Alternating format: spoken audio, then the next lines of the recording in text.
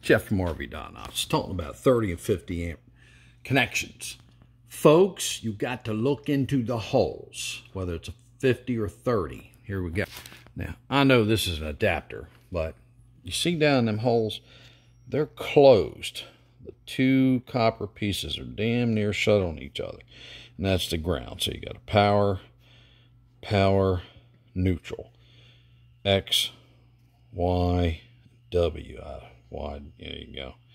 And G for ground. All right, now, you look at these. They got to keep them clean. I ain't telling you Scotch-Brite the heck out of them because to wear them. All right, but you're going to notice that a lot of them now come with these pull handles. Okay, there's a reason because they have to be tight. Well, that's what I do. I'm going to put this in there. Okay, line it up.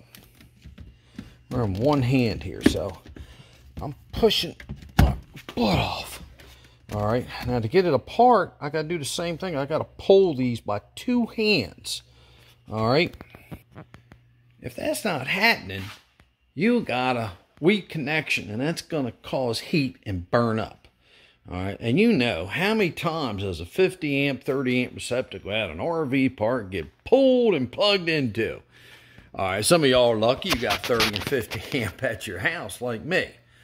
Uh, I got 50 amp under the bench. I got 30 amp back there, and in the back in the back, I got um, a 50 amp service where I hook up RVs, water and sewage and all. And you can come here for school or repair, or you can stay a weekend. All I charge like 30 $35 a night. But it's back there.